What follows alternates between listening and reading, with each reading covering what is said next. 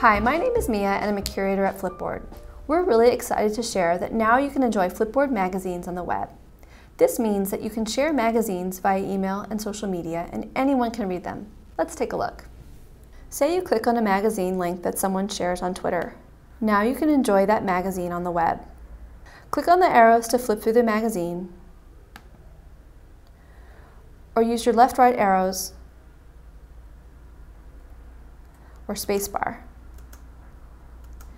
If you want to flip more quickly, use the Shift plus arrows to jump ahead, or Shift plus space to move backwards. You can also select a number from 1 to 9 to jump straight to that page. When you see something you want to explore further, click on it and you'll go to that article's web page.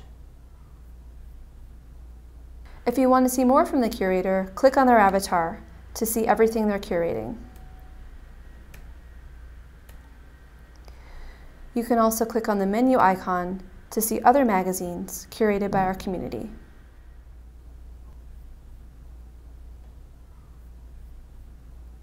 You can share magazines you love by clicking on the Share button on the cover or in the interior pages.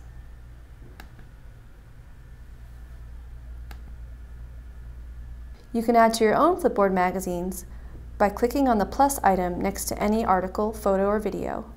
And if you're already logged into your Flipboard account, simply select the magazine you want to add it to or create a new one.